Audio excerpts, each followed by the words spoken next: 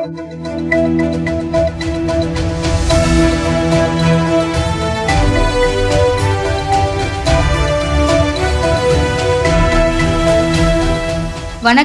சக்தி விரைவு செய்திகள். புதுச்சேரி காவல்துறை சார்பில் போதை ஒழிப்பு தினத்தை முன்னிட்டு கடந்த ஒரு வாரமாக பேரணி கருத்தரங்கு உள்ளிட்ட விழிப்புணர்வு நிகழ்ச்சிகளை நடத்தி வருகின்றனர். இந்நிலையில் இதனைத் தொடர்ந்து நேற்று மாலை வில்லியனூர் விவேகானந்தா அரசு மேல்நிலைப் பள்ளியில் போதை ஒழிப்பு விழிப்புணர்வு தினம் கடைபிடிக்கப்பட்டது. காவல்துறை டிஜிபி ஸ்ரீ ரன்வீர் சிங் கிருஷ்ணய்யா தலைமை தாங்கினார். ஏடிஜிபி அனந்தமோகன் ஐஜி சந்திரன் ஆகியோர் முன்னிலை வகித்தனர். சிறப்பு விருந்தினராக உள்துறை அமைச்சர் நமச்சிவாயம் கலந்து கொண்டு போதைப் பொருள் ஒழிப்பு குறித்து சிறப்புரையாற்றினார். இதில் அவர் பேசுகையில் போதைப் பொருட்களால் இளைஞர்கள் சீரழிந்து வருகின்றனர். ஆகையால் போதை பழக்கத்திலிருந்து விடுபட வேண்டும். மக்கள் விழிப்புணர்வுடன் இருக்க வேண்டும். போதைப் பொருட்கள் விற்பனை செய்பவர்கள் மீது வழக்கு பதிந்து கைது செய்து கடுமையான நடவடிக்கை எடுக்கப்பட்டு வருகிறது. புதுச்சேரி அரசு இதற்காக தனி கவனம் செலுத்தி கண்காணித்து வருகிறது. இருப்பினும் ஒரு சிலர் மாணவ மாணவிகளை குறிவைத்து போதைப் பொருளுக்கு அடிமையாக்கி வருகின்றனர். இதற்காக ஆபரேஷன் விடியல் என்ற திட்டத்தை உருவாக்கி போதைப் பொருள் விற்பவர்களை தீவிரமாக கண்காணித்து கைது செய்யப்பட்டு வருகின்றனர். மேலும் ஆபரேஷன் திரிசூல் என்ற திட்டத்தின் மூலம் குற்ற செயல்கள் குறைக்கப்பட்டு சட்டம் ஒழுங்கு பாதுகாக்கப்பட்டு வருகிறது. எனவே போதைப் பொருளால் ஏற்படும் விளைவுகள் குறித்து பொதுமக்கள் விழிப்புணர்வுடன் இருக்க வேண்டும். போதைப் பொருள் விற்பவர்கள் குறித்து பொதுமக்களுக்கு தெரிந்தால் காவல்துறைக்கு தகவல் தெரிவிக்க வேண்டும். உங்கள் தகவல் ரகசியமாக பாதுகாக்கப்படும். எனவே பொதுமக்கள் காவல்துறைக்கு ஒத்துழைப்பு தர வேண்டும் இவ்வாறு அவர் பேசினார். இதனைத் தொடர்ந்து நிகழ்ச்சியில் மாணவ மாணவிகள் தற்காப்பு கலையினை பொதுமக்கள் மத்தியில் வெளிப்படுத்தினர். பிறகு காவல்துறை சார்பில் தற்காப்பு பயிற்சி அளிக்கப்பட்ட மாணவர்களுக்கு சான்றிதழ்களை அமைச்சர் வழங்கினார். பிறகு இதனைத் தொடர்ந்து காவல்துறையினர் மற்றும் மாணவ மாணவிகளின் போதைப் பொருள் ஒழிப்பு விழிப்புணர்வு நடைப்பயணத்தை அமைச்சர் நமச்சிவாயம் கொடியசைத்து துவக்கி வைத்தார். இந்நிகழ்ச்சியில் சீனியர் எஸ்பி தீபிகா மேற்கு எஸ்பி ஜிந்தா கோதண்டராமன் இன்ஸ்பெக்டர்கள் கிருஷ்ணன் ஆறுமுகம் ராஜ்குமார் உள்ளிட்ட இருநூறுக்கும் மேற்பட்ட காவலர்கள் கலந்து கொண்டனர். விழுப்புரம் மாவட்டம் மரக்காணம் அடுத்த கீழ் புத்துப்பட்டு கிராமத்தில் அமைந்துள்ள அரசு ஆரம்ப துணை சுகாதார நிலையத்தில் மத்திய சுகாதாரத்துறை அமைச்சர் மான்சுக் மண்டவியா ஆய்வு மேற்கொண்டார். இதில் தமிழக சுகாதாரத்துறை அமைச்சர் மா. சுப்பிரமணியன் சிறுபான்மைத்துறை அமைச்சர் மஸ்தான் ஆகியோர் உடனிருந்தனர். ஆய்வில் சுகாதார நிலையம் கட்டமைப்பு மற்றும் மருந்துகள் இருப்பு பற்றி கேட்டறிந்தார்.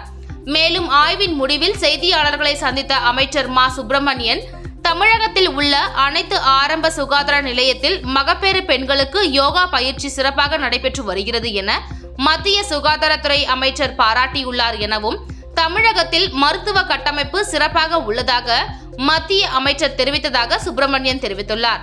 மேலும் திண்டிவனம் அரசு மருத்துவமனை ரூபாய் அறுபது கோடி செலவில் மாவட்ட மருத்துவமனையாக தரம் உயர்த்தப்படும் என அமைச்சர் தெரிவித்தார்.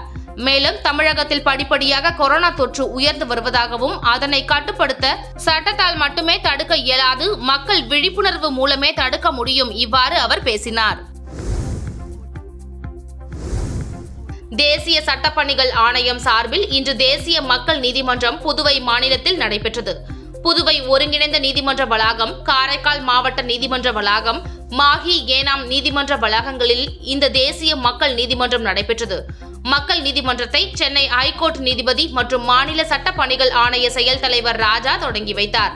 ஆணைய உறுப்பினர் செயலர் செந்தில்குமார் தலைமை நீதிபதி செல்வநாதன் முதன்மை சார்பு நீதிபதி ராபர்ட் கென்னடி ரமேஷ் வக்கீல்கள் சங்க தலைவர் குமரன் துணைத் தலைவர் தனலட்சுமி செயலாளர் கதிர்வேல் அரசு வக்கீல்கள் அரசு துறை அதிகாரிகள் காப்பீடு நிறுவன அதிகாரிகள் வங்கி அதிகாரிகள் மற்றும் வழக்காளிகள் உள்ளிட்டோர் கலந்து கொண்டனர். இதில் நிலுவை நேரடி வழக்குகள் விசாரணைக்கு எடுத்துக் கொள்ளப்பட்டு தீர்வு காணப்பட்டது. சமாதானமாக கூடிய கிரிமினல் வழக்குகள் காசோலை வாகன விபத்து நஷ்ட ஈடு கணவன் மனைவி பிரச்சினை சம்பந்தப்பட்ட வழக்குகள் குடும்ப நீதிமன்றம் ஜீவனாம்ச வழக்குகள் உரிமையியல் சிவில் தொழிலாளர் வங்கிக் கடன் சம்பந்தப்பட்ட வழக்குகள் எடுத்துக்கொள்ளப்பட்டது இதற்காக புதுவை ஒருங்கிணைந்த நீதிமன்ற வளாகத்தில் ஒன்பது அமர்வுகள் சட்டப்பணிகள் ஆணைய வளாகத்தில் ஒரு அமர்வு காரைக்காலில் மூன்று அமர்வுகள் மாகியில் இரண்டு ஏனாமில் ஒன்று என மொத்தம் பதினாறு அமர்வுகள் செயல்பட்டது.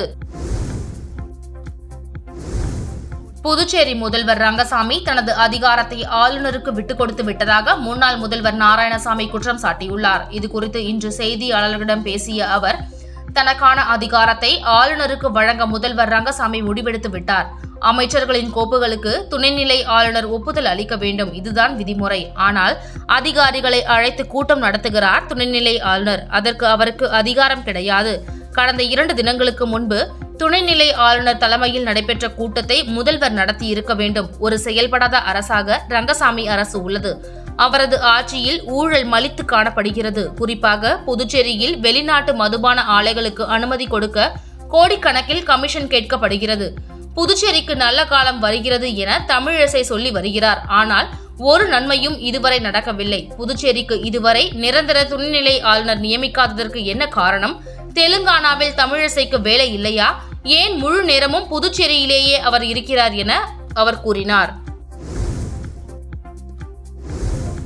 மத்திய அரசு கொண்டு வந்துள்ள அக்னிபாத் திட்டத்தை திரும்ப பெற கோரியும் புதுச்சேரி மாநில மின்துறையை தனியார் மயமாக்கும் முடிவை கைவிட கோரியும் மத்திய மாநில அரசுகளை வலியுறுத்தி நாம் தமிழர் கட்சி சார்பில் ரயில் மறியல் போராட்டம் நடத்தப்போவதாக அறிவிப்பு வெளியிடப்பட்டது.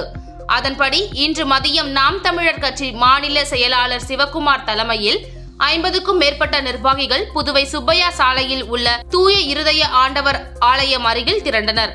அங்கிருந்து அவர்கள் மத்திய மாநில அரசுகளை கண்டித்து கோஷங்கள் எழுப்பியவாறு ரயில் மறியல் நோக்கி ஊர்வலமாக சென்றனர். இதற்கிடையே புதுவை ரயில் நிலையம் அருகே ஒதியஞ்சாலை போலீசார் முன்னெச்சரிக்கை நடவடிக்கையாக தடுப்பு அமைத்து நாம் தமிழர் கட்சியினரை தடுத்து நிறுத்தினர். இருப்பினும் போராட்டக்காரர்கள் தடுப்புகளை மீறி ரயில் நிலையத்திற்குள் செல்ல முயன்றனர். இதனால் போலீசாருக்கும் போராட்டக்காரர்களுக்கும் இடையே தள்ளுமுள்ளு ஏற்பட்டது. இதையடுத்து போராட்டத்தில் ஈடுபட்ட மாநில செயலாளர் சிவகுமார் பொருளாளர் இளங்கோவன் மகளிர் பாசறை ஒருங்கிணைப்பாளர் கௌரி உட்பட ஐம்பதுக்கும் மேற்பட்டவர்களை போலீசார் கைது செய்து கடற்கரை அருகே உள்ள கரிகுடோனில் தங்க வைத்தனர். பின்னர் அவர்களை சிறிது நேரத்தில் விடுவித்தனர். இந்த சம்பவத்தால் ரயில் நிலையத்தில் பெரும் பரபரப்பு ஏற்பட்டது. போதைப் பொருள் தடுப்பு விழிப்புணர்வு பேரணியில் முன்னூறுக்கும் மேற்பட்ட மாணவர்கள் கலந்து கொண்டனர். புதுவை மாநிலத்தில் ஆண்டுதோறும் போதை தடுப்பு விழிப்புணர்வு நாள் கடைபிடிக்கப்பட்டு வருகிறது. அந்த வகையில் சமூக நலத்துறை சார்பாக போதை தடுப்பு விழிப்புணர்வு குறித்து பேரணி கம்மன் கலையரங்கில் துவக்கப்பட்டது. இதில் சிறப்பு விருந்தினராக சமூக நலத்துறை அமைச்சர் ஜெயக்குமார் மற்றும் சட்டமன்ற உறுப்பினர் கலந்து கொண்டு கொடியசைத்து தொடங்கி வைத்தனர். சுமார் முன்னூறுக்கும் மேற்பட்ட மாணவர்கள் கையில் பதாகைகளை ஏந்தியபடி கடற்கரை வரை சென்று நிறைவடைந்தனர். புதுச்சேரியில் பாட்டாளி மக்கள் கட்சி ஆட்சிக்கு வந்தவுடன் மதுக்கடைகள் அகற்றல் முழு பட்ஜெட் தாக்கல் உள்ளிட்ட ஏழு தீர்மானங்கள் ஒரு மாத காலத்திற்குள் நிறைவேற்றப்படும் என நிறுவனர் ராமதாஸ் உறுதியளித்துள்ளார். புதுச்சேரி மாநில பாட்டாளி மக்கள் கட்சி மாநில பொதுக்கூட்டம் கம்பன் கலையரங்கில் நடைபெற்றது. மாநில அமைப்பாளர் கணபதி தலைமை தாங்க வடிவேல் கவுண்டர் துரை ஜெயக்குமார் பிரபாகரன் தேவமணி மதியழகன் ஆகியோர் முன்னிலை வகித்தனர். தொடர்ந்து மருத்துவர் ஐயா ராமதாஸ் சிறப்புரையாற்றினார். மேலும் மதுக்கடை அகற்றல் முழு பட்ஜெட் தாக்கல் உள்ளிட்ட ஏழு முக்கிய தீர்மானங்கள் நிறைவேற்றப்பட்டது. இறை தூதர் முகமது நபிகள் நாயகம் அவர்களை இழிவுபடுத்தி பேசியதாக பாஜகவை சேர்ந்த நுபுல் சர்மா மற்றும் நவீன் ஜிண்டால் ஆகியோரை தேசிய பாதுகாப்பு சட்டத்தில் கைது செய்ய கோரியும் மேலும் மனித குலத்துக்கு எதிராக செயல்படும் பாஜக அரசை கண்டித்தும் இஸ்லாமியர்கள் மற்றும் இஸ்லாமிய அமைப்புகள் தமிழகம் முழுவதும் போராட்டம் நடத்தி வருகின்றனர். அந்த வகையில் விழுப்புரம் மாவட்டம் மரக்காணம் அடுத்த கூனிமேடு கிராமத்தில் சுமார் நூற்றுக்கும் மேற்பட்ட இஸ்லாமியர்கள் மற்றும் பெண்கள் மத்திய அரசை கண்டித்து கண்டன ஆர்ப்பாட்டத்தில் ஈடுபட்டனர். இந்த ஆர்ப்பாட்டத்தில் மத்திய அரசை கண்டித்து கோஷங்கள் எழுப்பப்பட்டது. முஸ்லிம்களை தொடர்ந்து விமர்சித்து வரும் மத்திய அரசு தனது போக்கை இதோடு நிறுத்திக் கொள்ள வேண்டும் எனவும் எச்சரிக்கை விடுத்தனர். புதுச்சேரி சாலை போக்குவரத்து கழக ஊழியர்கள் நான்காவது நாளாக தொடர் வேலை நிறுத்த போராட்டத்தில் ஈடுபட்டுள்ளனர். புதுச்சேரி சாலை போக்குவரத்து கழகத்தில் பணியாற்றும் ஓட்டுநர் மற்றும் நடத்துனர்களை தனியார் பேருந்து ஓட்டுநர் மற்றும் நடத்துனர்கள் தாக்கியதால் கடந்த மூன்று நாட்களுக்கு முன்பு வேலை நிறுத்த போராட்டம் தொடங்கியது. வேலை நிறுத்தத்தில் ஈடுபட்ட ஒப்பந்த பணியாளர்கள் எட்டு பேர் பணி நீக்கம் செய்யப்பட்டனர். நேற்று முதல்வருடன் நடத்தப்பட்ட பேச்சுவார்த்தை தோல்வியடைந்ததை அடுத்து போராட்டம் இன்றும் தொடர்கிறது. பணி பாதுகாப்பு இல்லை மற்றும் ஒப்பந்த தொழிலாளர்களை பணி நிரந்தரம் செய்ய வேண்டும். பணியிலிருந்து நீக்கப்பட்ட எட்டு ஊழியர்கள் மீண்டும் பணியில் சேர்க்க வேண்டும் உட்பட பல்வேறு கோரிக்கைகளை வலியுறுத்தி போராட்டம் நடைபெற்று வருகிறது. தொடர் வேலை நிறுத்த போராட்டம் காரணமாக வெளியூர் செல்லும் பயணிகள் பெருமளவில் பாதிக்கப்பட்டுள்ளனர். புதுச்சேரி முதலியார்பேட்டை திருவிக்கா நகரை சேர்ந்தவர் முருகானந்தம். கூலி வேலை செய்து வருகிறார். இவரது மகள் கிருத்திகா வயது பதினேழு. தனியார் பள்ளியில் படித்து பனிரெண்டாம் வகுப்பு தேர்ச்சி பெற்றுள்ளார். கோயம்புத்தூரில் நடந்த ஆசிய அளவிலான பவர் லிஃப்டிங் சாம்பியன்ஷிப் போட்டி பதினேழாம் தேதி தொடங்கி இருபத்தி இரண்டாம் தேதி வரை நடந்தது. இந்த போட்டியில் கலந்து கொண்ட மாணவி கிருத்திகா அறுபத்தி ஒன்பது கிலோ எடை கொண்ட சப் ஜூனியர் பிரிவில் இலங்கை பூட்டான் நேபாளம் ஓமன் மாலத்தீவு ஈரான் மங்கோலியா கஜகஸ்தான் உள்ளிட்ட பதிமூன்று ஆசிய நாடுகளை சேர்ந்த வீரர்களுடன் போட்டியிட்டு மாணவி கிருத்திகா பெண்கள் பிரிவில் நூற்றி எண்பத்தி ஐந்து கிலோ பளுதூக்கும் பிரிவில் முதலிடத்தை பிடித்து தங்கம் வென்றார். இதேபோல் எண்பத்தி ஐந்து கிலோ பெஞ்ச் பிரஸ் போட்டியில் முதலாவது இடத்தை பிடித்து தங்கம் வென்றார். ஒரு போட்டியில் வெள்ளி வென்ற இவர் சப் ஜூனியர் பிரிவில் முதலிடத்தை பிடித்து சாம்பியன்ஷிப் பட்டத்தை தட்டி சென்றார். சப் ஜூனியர் பிரிவில் இரண்டு தங்கம் ஒரு வெள்ளியும் ஓவரால் வெற்றி பெற்றமைக்காக ஒரு தங்கம் என மூன்று தங்கம் ஒரு வெள்ளி பதக்கம் வென்ற மாணவி கிருத்திகாவுக்கு சாம்பியன்ஷிப் பட்டத்துடன் ஆசியாவின் இரும்பு பெண்மணி என்ற பட்டமும் வழங்கப்பட்டது. ஆசியா பவர் லிஃப்டிங் போட்டியில் சப் ஜூனியர் பிரிவில் சாம்பியன்ஷிப் பட்டம் பெற்ற மாணவி கிருத்திகாவை சட்டசபையில் முதலமைச்சர் ரங்கசாமி பொன்னாடை போர்த்தி வாழ்த்து தெரிவித்தார். மேலும் சர்வதேச அளவில் நடைபெறும் போட்டியில் பங்கேற்று புதுவைக்கு பெருமை சேர்க்க வேண்டும் எனவும் முதலமைச்சர் ரங்கசாமி கேட்டுக்கொண்டார். நிகழ்ச்சியின் போது கிருத்திகாவின் தந்தை முருகானந்தம் பயிற்சியாளரும் தீயணைப்புத்துறை வீரருமான பாக்யராஜ் பாண்டிச்சேரி பவர் லிஃப்டிங் சங்க செயலாளர் பிரவீன் ஆகியோர் உடனிருந்தனர். பாரதிய ஜனதா கட்சியின் மாநில இளைஞர் அணி செயற்குழு கூட்டம் வெள்ளினூர் பகுதியில் உள்ள தனியார் ஹோட்டலில் நடைபெற்றது. மாநில தலைவர் கோவிந்தன் கோபதி தலைமையில் நடைபெற்ற செயற்குழுவில் மாநில தலைவர் சாமிநாதன் முன்னிலை வகித்தார். இதில் சிறப்பு அழைப்பாளர்களாக உள்துறை அமைச்சர் நமச்சிவாயம் அவர்கள் கலந்து கொண்டார். மேலும் மாநில துணைத் தலைவர் இளைஞரணி பொறுப்பாளர் ராமச்சந்திரன் மாநில பொது செயலாளர் வேல்முருகன் காரைக்கால் கணேஷ் மாநில துணைத் தலைவர்கள் அற்புதராஜன் சிவசெந்தில் உமா சங்கர் சபரிகிரிசன் மாநில செயலாளர்கள் சதீஷ்குமார் அமல்ராஜ் அஸ்வின்குமார் மாநில பொருளாளர் பெருமாள் தேசிய செயற்குழு உறுப்பினர் ராகவேந்திர கணேசன் மற்றும் மாநில செயற்குழு உறுப்பினர்கள் மாவட்ட தலைவர்கள் கலந்து கொண்டனர். மேலும் பாரத பிரதமர் நரேந்திர மோடி அவர்களின் எட்டு ஆண்டுகால சாதனையை பாராட்டி மற்றும் நன்றி தெரிவிக்கும் விதமாக தீர்மானம் நிறைவேற்றப்பட்டது. அக்னிபாத் திட்டத்தில் நான்கு ஆண்டுகள் முடித்து வரும் அக்னி வீரர்களுக்கு காவல்துறை மற்றும் அரசு பணிகளில் சிறப்பு ஒதுக்கீடு மற்றும் முன்னுரிமை அளிக்க வேண்டும் என உள்துறை அமைச்சர் அவர்களுக்கு இளைஞரணி சார்பாக கோரிக்கை அளிக்கப்பட்டது. புதுச்சேரி மாநிலம் திருக்காஞ்சி பகுதியில் அமைந்துள்ள ஸ்ரீ கங்கை வராக நதீஸ்வரர் ஆலயத்தில் வாரந்தோறும் பிரதி சனிக்கிழமை அன்று கங்கா பூஜையானது முப்பத்தி எட்டாவது வாரமாக தொடர்ந்து நடைபெற்று வருகிறது. இப்பூஜையானது நதிகளை பாதுகாப்பதற்காகவும் தண்ணீர் குடிநீராக்குவதற்காகவும் இரண்டாயிரத்தி இருபத்தி மூன்றாம் ஆண்டு நடைபெற உள்ள புஷ்கரம் சிறப்பாக நடைபெறுவதற்காகவும் பிரதி வாரம் சனிக்கிழமை தோறும் கங்கா ஆரத்தி நடைபெற்று வருகிறது. இந்நிகழ்ச்சியில் வாரந்தோறும் திரளான பக்தர்கள் பொதுமக்கள் கலந்து கொண்டு சாமி தரிசனம் செய்து தொடர்ந்து இந்நிகழ்ச்சியில் பங்கேற்று வருவது குறிப்பிடத்தக்கது. ஒவ்வொரு வாரமும் ஆலய தலைமை அர்ச்சகர் சரவணன் சிவாச்சாரியார் குருக்கள் பூஜைகளை சிறப்பாக செய்து வருகிறார். இதனைத் தொடர்ந்து நிகழ்ச்சியில் கலந்து கொண்ட அனைவருக்கும் உபயதாரர் முதலியார்பேட்டை பகுதியை சார்ந்த சுரேஷ்குமார் குடும்பத்தினர் பொதுமக்களுக்கு அன்னதானம் வழங்கினர். புதுச்சேரி மாநிலம் இந்திரா நகர் சட்டமன்ற தொகுதிக்கு உட்பட்ட தர்மாபுரி பகுதியை சேர்ந்தவரும் என்ஆர் காங்கிரஸ் பிரமுகரும் தொழிலதிபருமான எஸ் எஸ் கிருஷ்ணன் பொதுமக்களுக்கு பல்வேறு நலத்திட்ட உதவிகளை அவ்வப்போது செய்து வருகிறார். அதன் ஒரு பகுதியாக தனது பிறந்த நாளினை முன்னிட்டு வருடந்தோறும் அனாதை ஆசிரமம் உள்ளிட்ட பல்வேறு இடங்களில் அன்னதானம் வழங்கி வருவது குறிப்பிடத்தக்கது.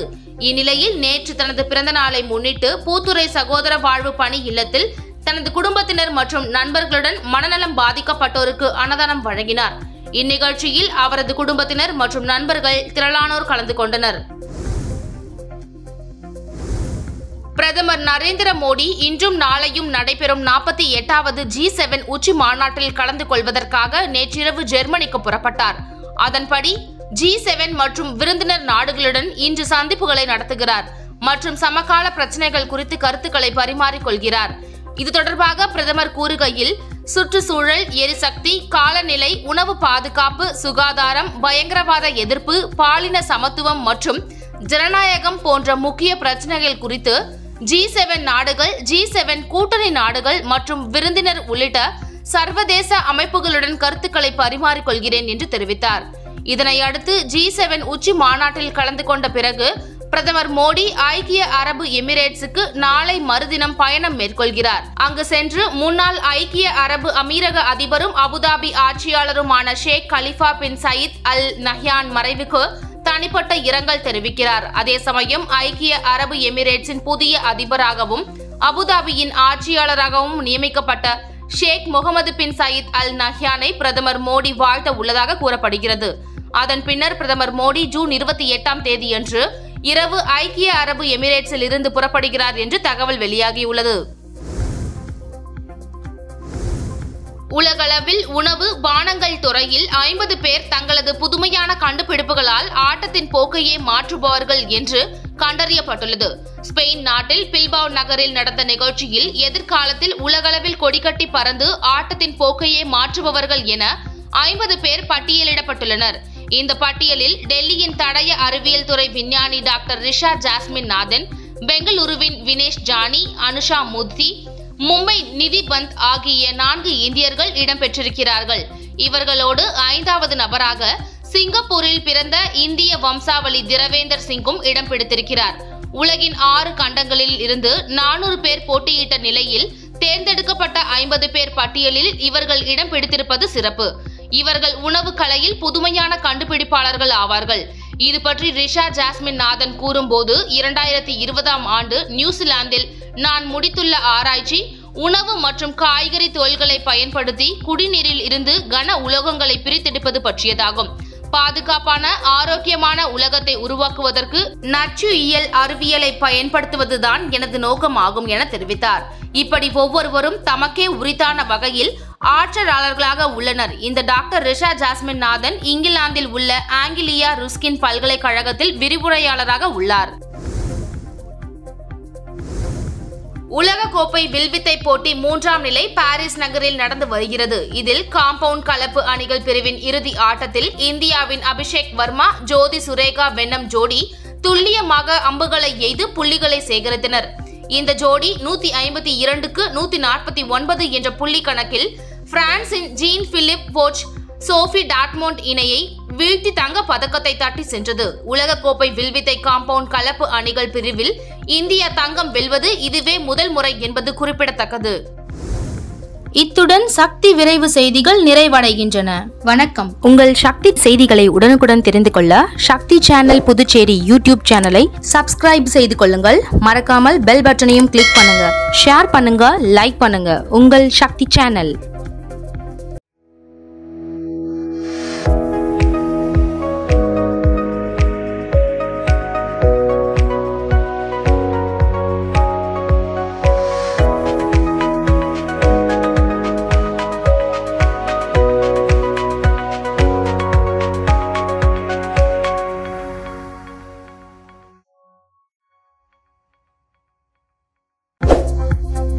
உங்கள் சக்தி செய்திகளை உடனுக்குடன் தெரிந்து கொள்ள சக்தி சேனல் புதுச்சேரி யூடியூப் சேனலை சப்ஸ்கிரைப் செய்து கொள்ளுங்கள். மறக்காமல் பெல் பட்டனையும் கிளிக் பண்ணுங்க. ஷேர் பண்ணுங்க லைக் பண்ணுங்க. உங்கள் சக்தி சேனல்.